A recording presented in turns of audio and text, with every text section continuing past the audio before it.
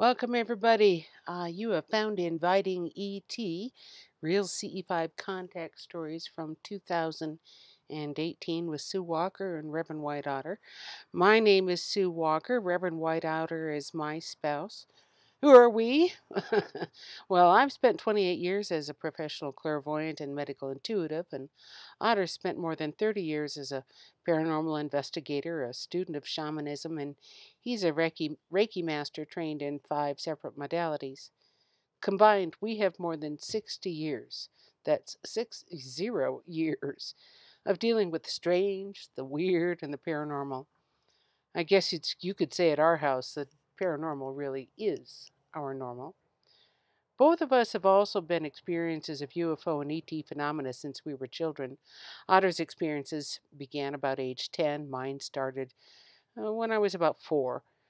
As if that isn't enough, we're unusual in at least one more way. Uh, Reverend White Otter and I are the telepathic translators for an extraterrestrial star nation known as the P'nti, who operate a facility called the Sandia Mountain Information Station beneath the Sandia Mountain on the eastern edge of Albuquerque, New Mexico.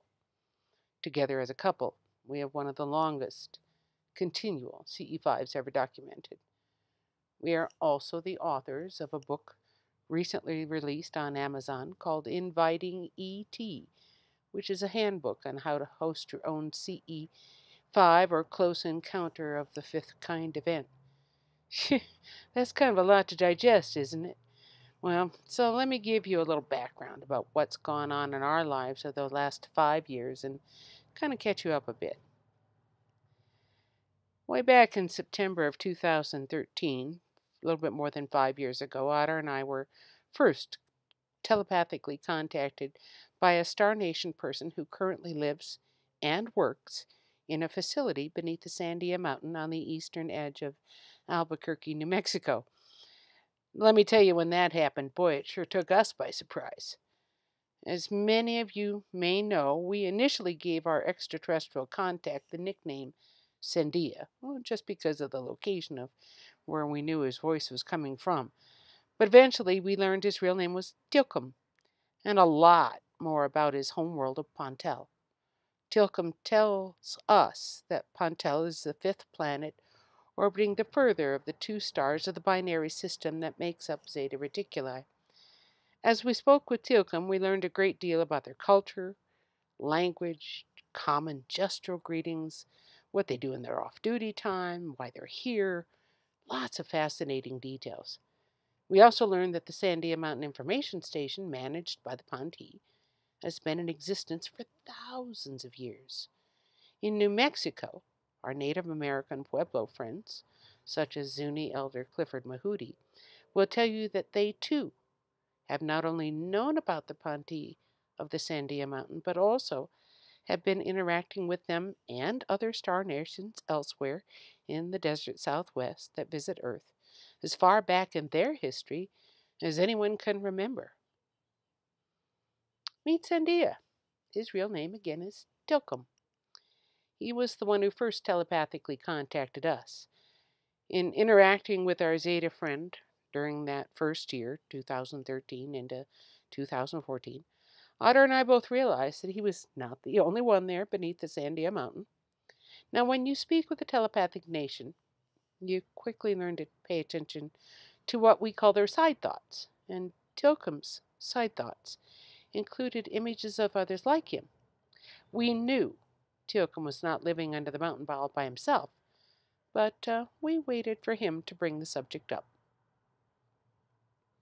It was about a year and a half after we first began talking to Tilcum. Oh, must have been very, very late January, I think probably into the first couple of days of February of 2015. Tilcum began introducing us to other members of his staff. The first two were a woman named Drudy and a fellow by the name of Rahaz, or as we come to call him, Radar. Drudy's assignment at the Sandia Mountain Information Station is that of a cultural liaison with other star nations. Radar was introduced to us as one of their pilots, uh, the station's stellar cartographer and a long range telepath, and their Earth media specialist.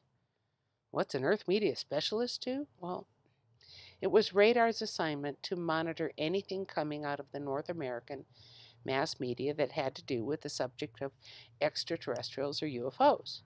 His assignment was re- to report to Teal'c on the both positive and the negative repercussions uh, that might be had for Earth's upcoming official first contact that any of these movies or television shows or documentaries, radio broadcasts, etc., etc., might have.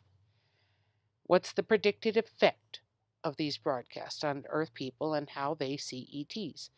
The P'nti understood that our opinions of them were formed by the media, so they keep their finger on the pulse for general perceptions. And I guess, long story short, it was radar who first told Teal'c about something here on Earth called social media, where individuals from around the world could share things with each other instantly in a way that went beyond country borders.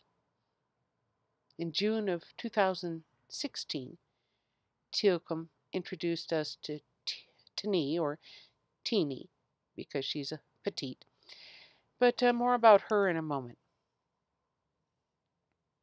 The idea of instantly sharing across borders, languages, cultures piqued Teal'c's interest.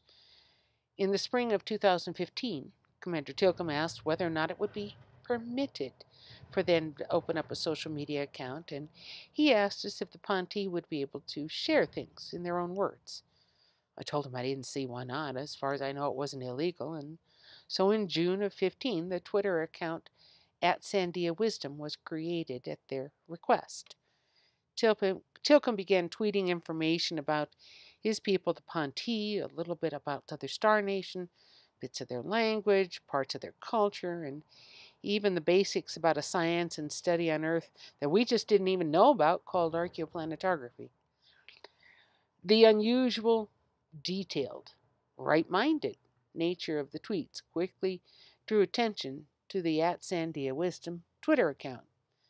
Teal'c's quote social experiment, because honestly that's what it really was for the P'nti, an experiment, began to draw an interest from people across the world.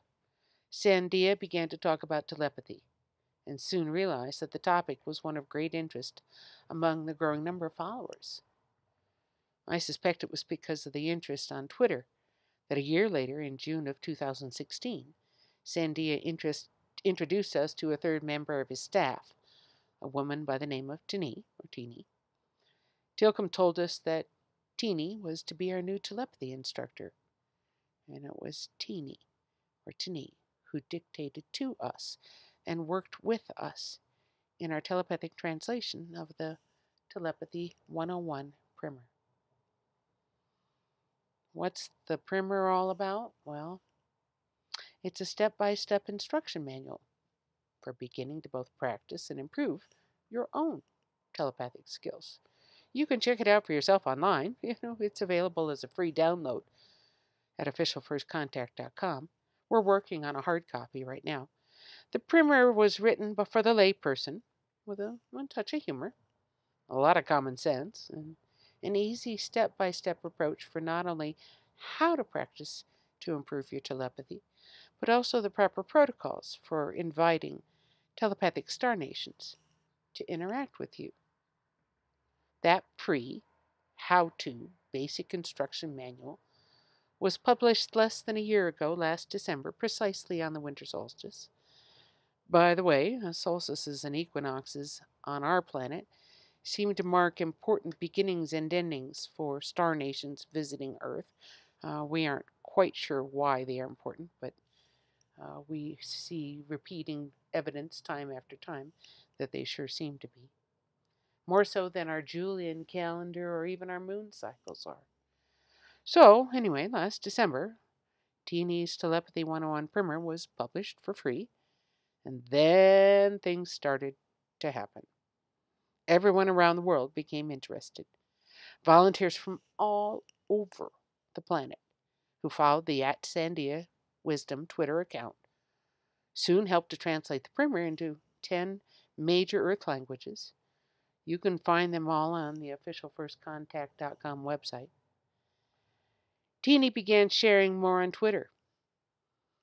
fielding telepathy questions, and encouraging those interested in a personal visit from them to practice for 30 minutes a day, every day. About that same time, the P'nti publicly announced that 2018 was going to be the year of increased in person soft contact. They let us know that they were actively listening for telepathic invitations and indeed visiting folks who they thought were ready and who fit their own parameters. Individuals needed to be mature, emotionally honest, right minded, those who walked their talk and were really truly ready to put down their fears. The P'nti knew that if they really were serious about receiving a visit, they would prove it by following the suggested practice schedule of 30 minutes a day and demonstrate patience.